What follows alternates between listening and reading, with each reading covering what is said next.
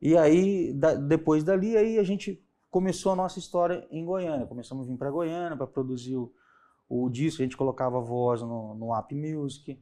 Aí, quando eu falo para você que a gente tem uma, tem uma certa importância do Humberto e Ronaldo também na, na carreira, aí quando o Humberto, o, o, Ronaldo ficou sabendo que a gente chegava aqui 11 da manhã, ficava o dia todo, e quando era 11 da noite, a gente voltava para Rio Preto porque a gente não tinha onde dormir, não tinha dinheiro para pagar o, o, para pagar o pouso, nós voltava. Aí o que, que eu fazia? E como eu ia dirigir, eu, eu vinha dirigindo e voltava. Aí quando dava 8 da noite, eu deitava no sofá lá no App Music lá, tirava um sono lá, e a hora que terminava ali, 11 horas da noite, voltava para Rio Preto.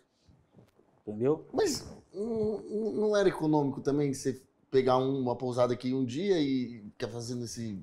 Não tinha. Não tinha pra que pousada. Isso. Aí o Ronaldo ficou falando: não, vocês estão loucos. Vocês vão ficar no meu apartamento. Cara. Aí o Ronaldo pegar quando a gente vinha para Goiânia, ele às vezes ou se ele não tivesse na estrada, ele ia para casa da mãe dele e deixava o apartamento pra gente lá. Nós ficávamos no apartamento dele. Putz, que massa. Entendeu? E aí e foi, cara, essa foi essa luta toda. E aí é, vou até concluir naquela situação que eu falo para você, que a gente sempre tem que dar oportunidade, não só olhar não, a questão de produtor, ah não, porque aqui é o top do Brasil. Não, cara, artista ele tem que ter uma energia com o produtor. O produtor tem que querer fazer aquele projeto, tem que pôr a alma, tem que pôr o coração, entendeu? Então, às vezes, ah, não, eu quero fazer com. Não, cara. Você tem que achar aquele produtor que vai colocar a vida na, no, no, seu projeto. Música é energia, né? É uma energia, cara. E, e, essa energia foi com nós no DVD de, de Rio Preto, foi com a gente no DVD de Cuiabá, e voltando e dando sequência, até para contar. Aí veio a, as mulheres, tudo, né? Com, com o movimento.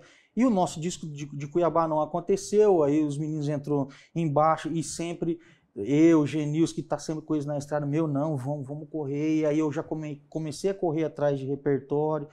E, e aí o Vander veio, na época, falou, meu, eu, vamos produzir com, com o Ivan Miyazaki. E o Ivan estava fora do mercado. Né? Foi o primeiro é. O primeiro, foi a volta do Ivan para o mercado. O Ivan teve aqui também no Prosa, ele contou essa Entendeu? história. Foi a volta do o Ivan. O ligou e falou, tô com os artistas aqui, é, eu quero que você, quero faça, que você faça isso. É. Aí, quando o Vander falou isso aí, a, a, a, gente sentou, sentou com o Jenner, explicou a situação, o Jenner entendeu super de boa, uhum. é, é, é, meu amigo, assim, é amigo dos moleques, de ir em casa, somos amigos independente de negócio, continuamos sendo amigos. Né? E eu continuo fazendo projetos com o Jenner. E é natural, e, e é né, natural essa, essa... E, e, foi preciso essa essa mudança, essa visão que o Vander teve de, de levar para o Ivan. E aí a, a condição falou, ó, vamos fazer lá com o Ivan, o Marquinhos fica à frente, porque eu já tinha, já todos os compositores mandando música, já estava recebendo e eu e a gente segurando, segurando música e travando. E eu fui analisando o, o, o mercado, vendo, e, e eu comecei, falei, meu, nós estamos com puta de um repertório. E o Ivan, que aí era a volta dele, e o Tava Ivan colocou gás. a vida dele ali também, entendeu? Então uniu tudo, os moleques com sangue no olho para dar a volta por cima, o Ivan também com sangue no olho para, entendeu? E o que, que aconteceu? No dia que a gente foi gravar, aí a gente falou assim, não, vamos fazer assim, marcou a data do DVD, no dia 29 de março, lá em São Paulo, de 2018. Só que a gente pegou, em novembro de 2017, a gente lançou o EP, gravamos aquele EP no dia 6 de, de novembro de 2017. Nós acústico, gravamos né? o, o, o, acústico lá na varanda, né?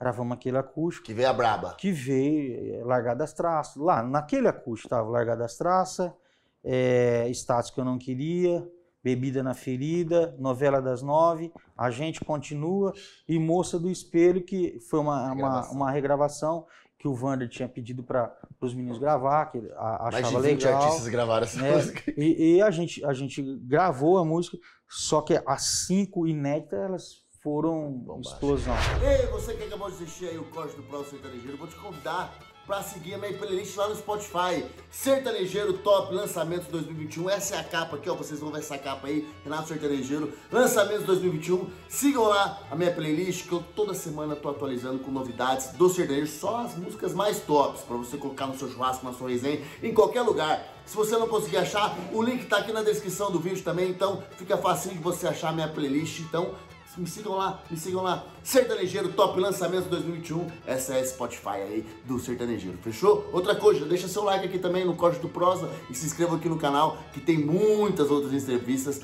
a serem realizadas, fechou? É nóis, tchau, obrigado!